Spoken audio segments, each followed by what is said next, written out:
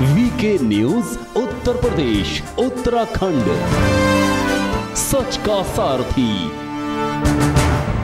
संजीव जी क्या लगता नहीं है? क्या स्थितियाँ वाकई में चिंताजनक हैं अगर वरिष्ठ नेता कांग्रेस पार्टी के आकर प्रेस कॉन्फ्रेंस करें और फिर अलग अलग प्रदेशों के अंदर की स्थितियाँ ऐसी निकलकर सामने आ जाएँ जिस पर मंथन चिंतन होना चाहिए? क्या ये गंभीर नहीं है पार्टी के लिए? चिंताजनक नहीं है? क्या लगता है?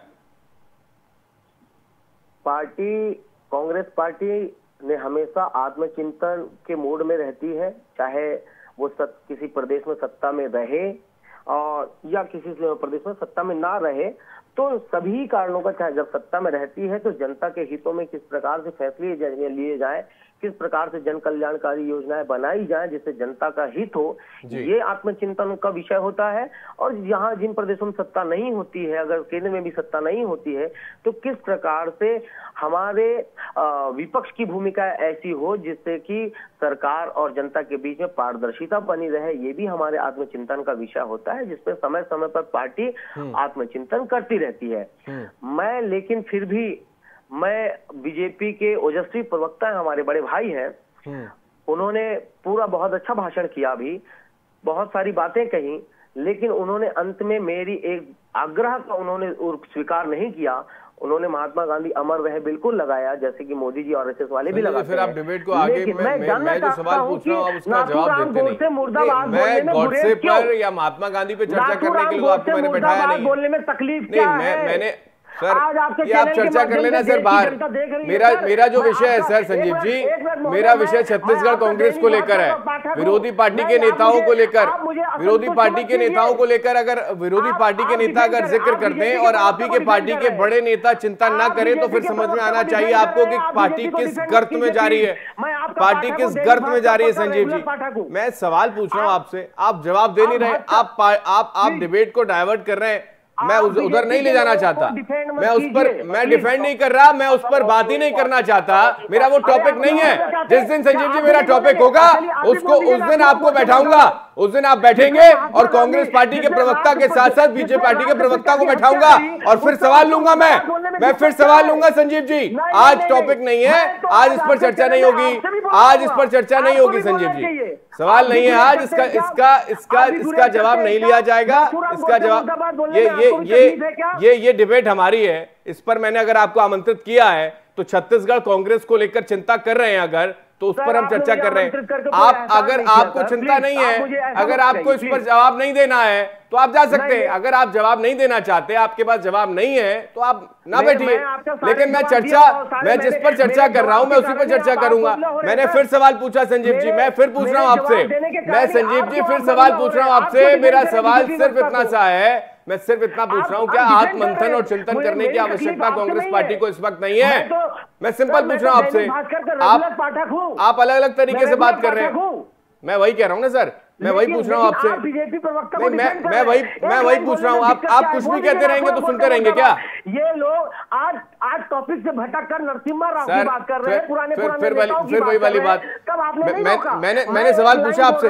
मैंने आपसे सवाल पूछा क्या? मैंने सवाल पूछा सर। नहीं मैं मैंने सवाल पूछा आपसे। संजीव जी मैंने आपसे सवाल पूछा क्या? मैं सवाल जो पूछ रहा हूँ उसका जवाब चाहूँगा ना आपसे। आप इनको डिफेंड कर रहे हैं। नहीं मैं, मैं फिर वही वाली बात आप डिफेंड कर रहे हैं। इस तरीके से नहीं होगी ना चर्चा। आप डिफेंड आप आपका धर्म में डिफेंड करना कि अगर बयालीस विधायक पहुँच गए उसके बाद भी अगर आपको चिंता नहीं लगती है तो अच्छी बात है। उनसठ से साठ हस्ताक्षर विधायक कर लें आपको चिंता नहीं लगती है तो अच्छी बात है सर। अच्छी बात है। जब जब टी एस सिंहदेव जब टी एस सिंहदेव रोना शुरू कर देंगे तब भी आप कहेंगे नहीं सब कुछ ठीक चल रहा है पार्टी के अंदर। ठीक है ओके। मैं समझ में मेरे समझ में आ गया अच्छी बात है कि आप कम से कम डिफेंड कर रहे हैं इस बात को लेकर कि कम से कम कांग्रेस पार्टी के अंदर सब कुछ ठीक चल रहा है ऐसे सिपाहियों की ज़रूरत है जो झूठ बोले और चिल्ला चिल्ला के बोलते रहे लेकिन कम से कम सच्चाई को माने तो सही। सच्चाई को माने तो सही संजीव जी। यही समस्या है कि आला कमान तक जो जो सलाहकार बैठे हैं सर। संजीव जी सलाहकार बैठे हैं ना वो गर्त में डाल रहे हैं पार्टी को। वो गर्त में डाल रहे हैं पार्टी को। कम से कम ऐसे एडवाइजर रखे जाए जो पार्टी के उत्थान के लिए सोचे। Okay sir. मैं लौट रहा हूँ आपके पास। मैं आप मैं आप मैं आप मैं लौट रहा हूँ आपके पास। मैं सवाल जो पूछ रहा हूँ वो आप जवाब दे नहीं रहे। तो फिर फिर मैं मैं इस तरीके से तो बात कर नहीं पाऊँगा आप जिस सवाल का जवाब नहीं देना चाहते हैं तो इसका मतलब ये तो है नहीं है कि आप डाइवर्ट कर देंगे। मैं सिंपल मैं सिंपल सवाल पूछ रहा हूँ। चलिए एक बार फिर एक बार फिर पूछ लेता हूँ आपसे।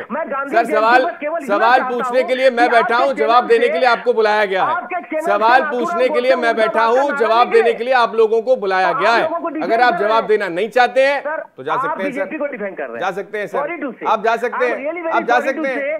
मैं फिर पूछ रहा हूँ आपसे। ऐसे ऐसे ऐसे नहीं होगी चर्चा। ओके जौहरी साहब।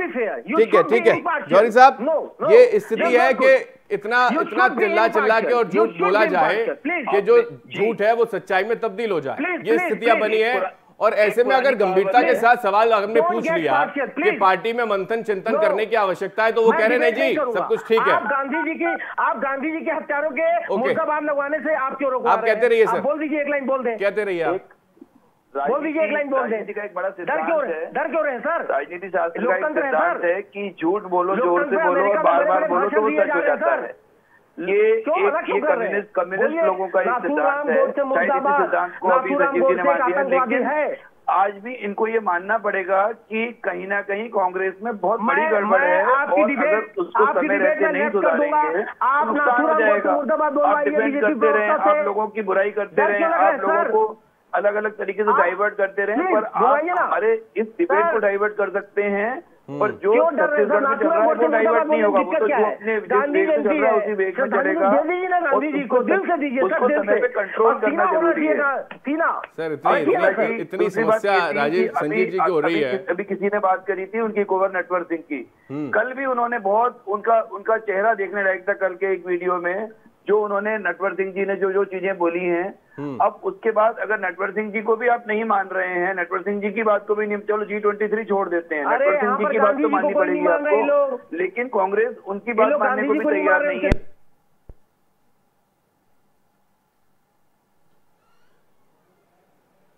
जी।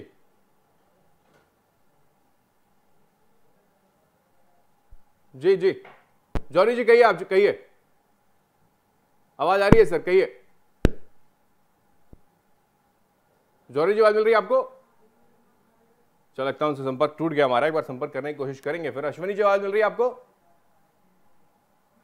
फिर लगता है संपर्क उनसे टूट गया। हालाँकि हैरानी इस बात को लेकर है कि चर्चा जब छत्तीसगढ़ कांग्रेस को लेकर की जाए तो कांग्रेस पार्टी के नेताओं की ओर से गांधी और गॉडसे का ज़िक्र होना शुरू हो जाता है। जिस पर चर्चा होगी, उसी पर बात की जाएगी और वही सिद्धांत के साथ आगे बढ़ा जाएगा। लेकिन हैरानी है कि डिबेट को अखाड़ा बनाने की दिशा में अगर कांग्रेस पार्टी के नेता करते रहेंगे तो ऐसे अच्छा लगेगा नहीं। लेकिन सवाल बड़ा गंभीर है जो कांग्रेस पार्टी के लिए चिंता का विषय है, जिस पर मंथन चिंतन होना चाहिए। वही सवाल जब पूछा गया तो यह नाराज़गी ज़ाहिर हो जाती है कि स्थितियाँ कांग्रेस के अंदर सब कुछ ठीक है, प्रायोजित तरीके से बताने का अगर प्रयास किया जा रहा है तो वो ठीक नहीं। बयालीस से ज़्यादा विधायक अगर दिल्ली में पहुँच जाते हैं तो पिकनिक मनाने तो गए नहीं होंगे। शक्ति प्रदर्शन की दिशा में अगर आगे बढ़ा जा रहा है कांग्रेस पार्टी की ओर से तो यह समझा जाना चाहिए कि जो राजस्थान के अंदर हुआ, वही स्थिति क्या छत्तीसगढ़ में है कुछ दिन पहले पंजाब में सब कुछ ठीक नहीं चल रहा था। उसी पर अगर मंथन चिंतन करने के लिए जी ट्वेंटी थ्री के बड़े नेताओं की तरफ़ से ज़िक्र कर दिया जाए तो फिर क्यों नहीं विचार करना चाहिए? फिर क्यों नहीं आला कमान को सोचना चाहिए? वो पार्टी का अंदरूनी मामला है, ये बात बिल्कुल ठीक है, लेकिन छत्तीसगढ़ की आवाम को जो नुकसान हो रहा है, उस पर उस पर कौन जवाब देगा? राजस्थान के अंदर जो पिछले कई समय तक एक पिक्चर चलती रही जिसमें जनता का नुकसान हुआ, जिसमें यह समझ में ही नहीं आ रहा था कि गहलोत कुर्सी पर रहेंगे या फिर नहीं रहेंगे, सचिन पायलट डिप्टी सीएम के तौर पर बने रहेंगे या फिर नहीं रहेंगे तो उसमें उसी उस रस्सा कसी में अगर नुकसान किसी का हुआ तो फिर वहाँ की आवाम का हुआ। वही स्थितियाँ पंजाब कांग्रेस के अंदर भी बनी रही, जिसमें इतने सालों तक सब कुछ ठीक चलता रहा यह ज़िक्र किया जा रहा था, लेकिन सब कुछ ठीक था नहीं। और वही स्थिति अब छत्तीसगढ़ में है जिसका सीधा नुकसान अगर जनता को होता है तो सवाल तो पूछा जाएगा जवाब तो देना होगा। जौहरी साहब आवाज़ आपकी नहीं आ रही थी एक बार अपनी बात पूरी रख दें उसके बाद मैं अश्विनी जी आपके पास आ रहा हूँ। जी। मे, मेरा जौहरी जी मेरा सवाल सिंपल सा था जो संजीव जी से मैंने कहा कि क्या ऐसी स्थिति है वर्तमान में अगर कांग्रेस पार्टी की अगर अभी आपने अगर कोई फैसला नहीं लिया चाहे वो अध्यक्ष की कुर्सी को लेकर हो या फिर एक बड़े बदलाव की दिशा में आगे बढ़ा जाए अगर अब भी अगर ऐसी स्थिति नहीं बनी तो एक बड़ा नुकसान हो सकता है। ये सवाल संजीव जी को शायद समझ में आया नहीं इसका जवाब मेरे को मिला नहीं। क्या वाकई में चिंता करने की आवश्यकता है पार्टी को? बिल्कुल आवश्यकता है। देखिए मध्य प्रदेश में जो कुछ हुआ हम्म। और पंजाब में जो कुछ अभी चल रहा है अभी इनको लग रहा है कि चन्नी जी बन गए हैं मुख्यमंत्री तो सब ठीक ठाक है लेकिन अंदर अंदर क्या स्थितियाँ बन रही हैं क्या पॉलिटिकल डेवलपमेंट्स हो रहे हैं क्या क्या नई इक्वेशन बन रही हैं? हम्म। और क्यों अमरिंदर सिंह और अजीत डोभाल और इनकी जो आ, अपने अमित शाह की जो मीटिंग है वो क्यों इंपॉर्टेंट है आज पॉलिटिकल एंगल से? हम्म। तो वही अगर वो सब ध्यान नहीं रखा जाएगा क्योंकि मध्य प्रदेश में तो ये सबको मालूम था कि ये स्थिति बन सकती है लेकिन कांग्रेस का नेतृत्व को लग रहा था कि नहीं ज्योतिराज सिंधिया कहाँ जाएँगे? हम्म। उन्हें कौन लेगा? लेकिन जब उन्होंने अब अब आज समझना चाहिए कि उन्हें पलक पावड़ों पर बिठा बिछाया बिठाला बीजेपी ने और वो वो स्थिति दी है जो कांग्रेस कभी नहीं दे सकती थी। हम्म। वो स्तर दिया है उनको। तो ऐसे में अगर समय रहते ये जो छत्तीसगढ़ में जो भी चल रहा है अगर सिंहदेव जौहरी साहब मेरा सवाल इसी में मैं, मैं एक और सवाल इसमें पूछना चाहता हूँ कि महत्वाकांक्षाएँ ज़ाहिर है हर किसी की हावी रहती हैं। महत्वाकांक्षाएँ हावी थी नवजोत सिंह सिद्धू की कुर्सी सीएम की कुर्सी पर नज़र थी तब यह स्थिति हुई कि वो सीएम की कुर्सी तक पहुँचे नहीं और उससे पहले ही बाहर पार्टी से होने की दिशा में बढ़ गए। कैप्टन अमरिंदर का ज़िक्र करें, वो भी महत्वाकांक्षी रहे, उनके साथ भी ये स्थितियाँ बन गई, वो भी बाहर का रास्ता देखने के लिए मजबूर हो गए।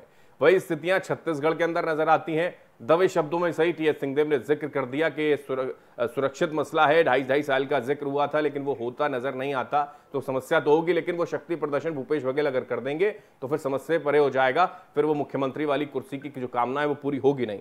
महत्वाकांक्षाएँ हावी होती हैं, ये बात ठीक है लेकिन डिसिप्लिन नाम की जो चीज़ पार्टी के अंदर होनी चाहिए, क्या वो स्थितियाँ नहीं है?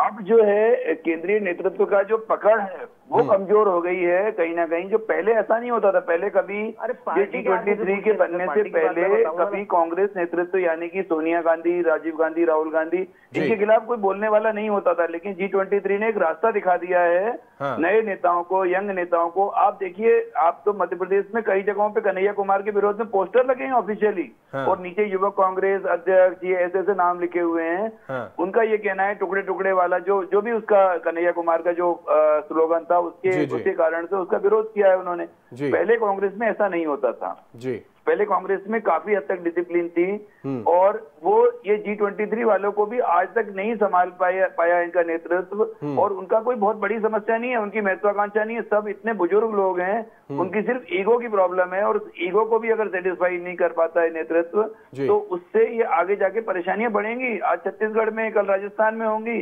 और उसके यानी कि यानी कि ये जो स्थिति है वो ऊपरी लेवल से है। और ऊपर लेवल में दो फाड़ की स्थितियाँ आ गई तो फिर वो धरातल पर इसका असर नज़र आएगा स्टेट लेवल पर इसका नज़र आ रहा है। ये मान लें। यस ठीक है। ओके संजय जी इस पर कुछ कमेंट करना चाहेंगे आप? इसी पर। फिर उसके बाद आगे बढ़ू मैं। सर अभी सर ने बताया कि कांग्रेस के लोग मुखर होकर के पार्टी की बात करते हैं। ये केवल कांग्रेस पार्टी के अंदर हो सकता है, मैं बार बार कहता हूँ, क्योंकि हमारे अंदर में अभिव्यक्ति की आज़ादी है। हमारे अंदर में किसी भी गुलामी की जंजीरों में लोगों को नहीं जकड़ा जाता। हमारे यहाँ आरएसएस की तरह आपको लाइन लिख करके नहीं दी जाती। आ, हमारे यहाँ आरएसएस की विचारधारा लोगों के ऊपर नहीं थोप दी जाती। हमारे यहाँ लोगों को अभिव्यक्ति की आज़ादी दी जाती है लोगों को ज़िंदा दिल बनाया जाता है लोगों को वाकई में आज़ाद और स्वतंत्र महसूस कराया जाता है। हम्म। ऐसा नहीं कि किसी विचारधारा के गुलाम बना दो किसी को। किसी हम्म। पार्टी के अंदर में उसको जहाजकड़ियाँ लगाकर रख दो। जैसा की अभी आपने देखा की आपके चैनल में मैंने भारतीय जनता पार्टी से कहा प्रवक्ता से कहा कि नाथुराम गोड मुर्दा लगा दो तो हो सकता है उनका दिल चाहता हो रहने का। लेकिन आरएसएस की मैं आरएसएस की गुलामी और आरएसएस की विचारधारा उनको इस बात की तो आज़ादी नहीं देती कि वो अपनी अभिव्यक्ति कर छोड़ रहे लोग? ये केवल और केवल कांग्रेस पार्टी के अंदर में है कि हम लोगों को लोकतांत्रिक अधिकार देते हैं राष्ट्रवाद का एक बड़ा चेहरा। आज़ादी देते हैं। राष्ट्रवादी नेता और यदि आप इस चीज़ को इस चीज़ को काउंटर करते हैं कि कांग्रेस में नहीं है मैं तो मैं आप ही के सवाल का जवाब आपसे लेना चाह रहा हूँ एक बार सुन लेंगे आप। मैं आपका आपकी बात का जवाब सर मैं इसीलिए बार बार कह रहा हूँ आप बीजेपी प्रवक्ता को डिफेंड करते हैं। मैं बार बार कह रहा हूँ प्लीज़ आपकी बात पूरी हो गई। आपकी बात पूरी हो गई सर। आप अपनी बात पूरी कर लीजिए। मैं आपको पूरा टाइम हाँ, दे रहा हूँ आप बात पूरी कीजिए। मुझे कंप्लीट करने दीजिए ना हाँ, सर। करिए करिए। तो इसलिए मैं कह रहा हूँ, मैं शायद जो भैया आए थे, उन्होंने मेरे पहले का वक्तव्य सुना नहीं, मैंने इनको बताया था, आपके चैनल के माध्यम से बताया था कि हम आत्मचिंतन करते हैं। जब हमारी जहाँ पर सरकार होती थी, उसके लिए भी चिंतन करते हैं, हमारी जहाँ सरकार नहीं होती है, उसके लिए भी चिंतन करते हैं, किस प्रकार से पार्टी को मज़बूत बनाया जाए, उसके लिए भी चिंतन करते हैं। लेकिन अभिव्यक्ति की आज़ादी किसी की नहीं छीनते। हम किसी को आरएसएस की तरह गुलामी की जंजीरों में जक करके नहीं रखते। आपने देखा आपके चैनल में प्रवक्ता बीजेपी प्रवक्ता से मैंने केवल आग्रह किया कि आज गांधी जयंती के दिन या श्रद्धांजलि गांधी जी को दी जाए कि उनके हत्यारों को मुर्दाबाद लगाया जाए तो सर इतनी आज़ादी आरएसएस ने बीजेपी वालों को नहीं दी है। मैं सवाल पूछ अभी अभी आज अभी कल आपको देखना न्यूज़ देखने को मिल जाएगी कि हिंदू महासभा और कुछ और ऐसे संगठन गांधी जी की मूर्ति को बकायदा गोली मारते हुए वीडियोस और फ़ोटोज़ कल आप कुछ मिल जाएँगे। शायद आप लोग नहीं दिखाएँगे या दिखाएँगे भी तो बाद में दिखाएँगे जब सब, दिखाएँगे। सब दिखाते हैं सर संजीव जी क्या कहता है। और उस पर अगर ऐसी स्थितियाँ बनेगी तो उस वक्त डिबेट करूँगा संजीव जी और आपको बुलाऊँगा और प्रवक्ता बैठे होंगे बीजेपी के उनसे सवाल भी लिए जाएँगे। ठीक है ना सर? ऐसी स्थिति आने दीजिए उस पर बात भी करेंगे। लेकिन मेरा सवाल अब सवाल सुनिए सर। अब सवाल सुनिए ना। अब यही समस्या है। यही समस्या है कांग्रेस पार्टी की हम किसी की सुनते नहीं और हम किसी के मानते नहीं। और यही यही व्यवस्था कांग्रेस पार्टी की हो चली है कि सब कुछ चंगा चंगा कह के गर्त में पार्टी जा रही मैं सवाल पूछ रहा हूँ आपसे मैं सवाल ये पूछ रहा हूँ आपसे संजीव जी आपने कहा कि बहुत डिसिप्लिन लोग हैं घुटन महसूस पार्टी के अंदर कोई करता नहीं आरएसएस वाली स्थिति नहीं है कि कोई दबा के रखे गला दबा के घोट के रखे। अच्छी बात है। तो फिर पार्टी के नेता राष्ट्रवाद छवि का एक ऐसा नेता कैप्टन अमरिंदर जब बाहर निकलता है तो वो क्यों कहता है कि मेरे को दबा के रखा गया। मुझसे बर्दाश्त नहीं हो रहा था इसलिए मैं अपमानित महसूस कर रहा था पार्टी छोड़ के चला गया। ये कैसा ये कैसा डिसिप्लिन है सर? ये कैसा डिसिप्लिन है? आप बताइए नवजोत सिंह सिद्धू वो कहते हैं कि नैतिकता के सिद्धांतों से मैं समझौता कर नहीं सकता इसलिए मेरे को बाहर आना पड़ रहा है। आप बताइए कि ये गला कौन घोट रहा है? क्या पार्टी के अंदर आरएसएस के लोग आ गए क्या सर? एक मेरे जवाब तो ले लीजिए हाँ बताइए सर। ये गल ये गला कोई नहीं घोट रहा। ये गला घोटता है उनकी महत्वाकांक्षाएँ लोग जो ऐसी बातें करते हैं उनकी महत्वाकांक्षाएँ घोटती है। जब कांग्रेस की पार्टी जब कांग्रेस पार्टी किसी को विधायक मंत्री सांसद मुख्यमंत्री और मध्य प्रदेश की बात करें तो बहुत बड़े बड़े पदों पर लोगों को रखती है। लेकिन जब जब एक आदमी के लिए नहीं है ना सर ये सारी चीज़ें? सबको देना पड़ता है हमको। सबको जो हम्म। कांग्रेस का कार्यकर्ता जो इस देशभक्ति में आ, अपनी योगदान दे रहा है उन सबको पारी पारी से नंबर लगाना पड़ता है ना सर? एक का एक का विकास एक का साथ का बीजेपी की तरह हमारे यहाँ नहीं है। सबका हम्म। साथ सबका विकास ओरिजिनल फॉर्मूला हमारे यहाँ है। हम्म। तो जब उनका नंबर जाने को होता है सबका साथ सबका विकास के फॉर्मूले पर अगर आप चल रहे होते ना सर तो अध्यक्ष की कुर्सी पर आज कोई और बैठ गया होता जी ट्वेंटी थ्री वाले खुश हो गए होते Sanjeev ji. G twenty three वाले खुश हो गए होते अध्यक्ष की कुर्सी की जो मांग कर रहे हैं ना सर संजीव जी। अगर सबका साथ, सबका विकास का ज़िक्र अगर आप कर ले, आपकी पार्टी वाले कर ले तो अध्यक्ष की कुर्सी पर कोई और बैठ गया होता जी ट्वेंटी थ्री वाले खुश हो गए होते और ये जी ट्वेंटी थ्री बनता ही नहीं, ठीक है? मैं आखिरी कमेंट लेता हूँ, अश्विनी जी, वक्त की कमी है, चर्चा को विराम देना होगा। अश्विनी जी आरएसएस वाली स्थिति नहीं है, कांग्रेस पार्टी के अंदर गला घुटने जैसी महसूस नहीं करते वहाँ के कार्यकर्ता नेता, इसलिए वो सवाल का जवाब दे देते हैं पार्टी छोड़ के निकल जाते हैं। डिसिप्लिन आपकी पार्टी में नहीं है संजीव जी कह रहे हैं। ओके सर मेरे पास वक्त नहीं है please. Please please sir please. ये इनमें से कुछ ऐसे नेता है जिनको पहले Bharatiya Janata Party okay okay okay sir. फलाना दिखाना क्या क्या नहीं बोले? Okay sir. संजीव जी मैं आ रहा हूँ। संजीव जी मेरे पास वक्त नहीं है प्लीज़। अश्विनी जी अपनी बात रखते हैं आप। आप रखते बात। ठीक है अश्विनी जी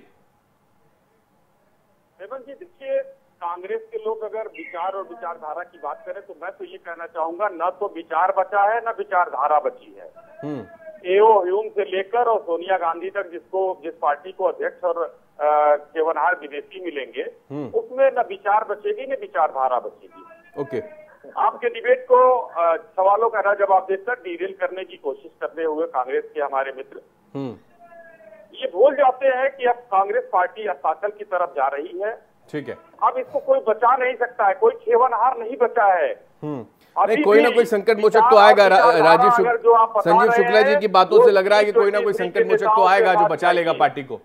कोई तो आएगा। कार्यकर्ता संकट मोचक है सर हमारा एक कार्यकर्ता। चलिए वक्त की कमी है अश्वनी जी माफ़ी के साथ रोक रहा हूँ प्लीज़ संजय जी बहुत शुक्रिया हमारे साथ जुड़ने के लिए। अश्वनी जी आपका बहुत शुक्रिया चर्चा में जुड़ने के लिए।